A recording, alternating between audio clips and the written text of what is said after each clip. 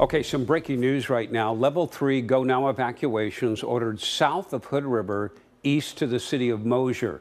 According to the Wasco County Sheriff's Office, the evacuation stretches from Rattler Ridge Road to Husky Road, north to the border city of Mosier. Outages are also reported in the area. We reached out to nearby fire agencies for more information, and we're waiting to hear back. So